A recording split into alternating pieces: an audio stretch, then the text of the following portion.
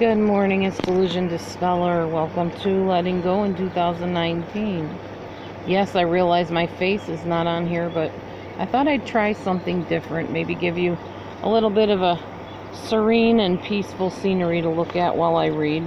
Instead of just my face, it's not all about me, it's about the message after all. So I thought I'd do something a little different. And today's reading is from Letting Go in 2019 a book written by Melody Beattie, copyright 1990, and it is Commitment. As we walk through life, there are many things and people we may lose or lose out on if we're unwilling to commit. We need to make a commitment for relationships to grow beyond the dating stage, to have the home or apartment we want, the job we want, or the car we desire. We must commit on deep levels to careers, to goals, to family, friends, recovery. Trying something will not enable us to succeed. Committing ourselves will. Yet we need never commit before we are ready. Sometimes our fear of commitment is telling us something. We may not want to commit to a particular relationship, purchase, or career. Other times it is a matter of our fears working their way out. Wait. Then, Wait until the issue becomes clear. Trust yourself. Ask God to remove your fear of commitment. Ask God to remove your blocks to commitment. Ask God for guidance.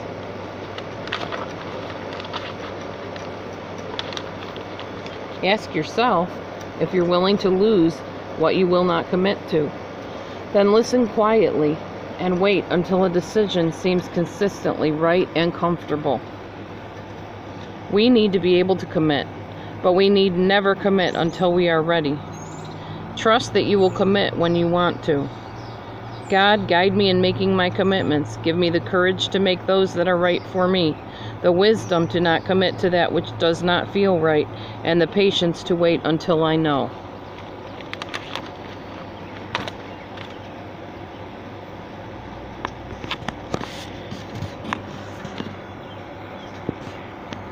I think this is a really good reading today.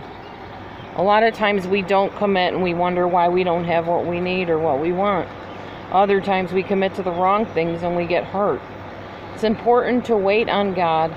Listen for that still small voice inside to tell you which way to go and tell you what to do.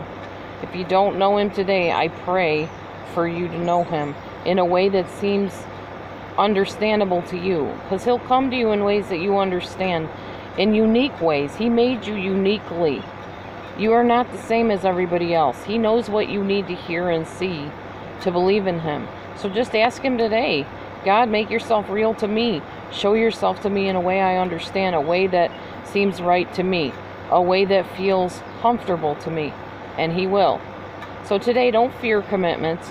Just wait and pray and listen and stop and think and then move only when you're sure that that is the direction he's moving you in.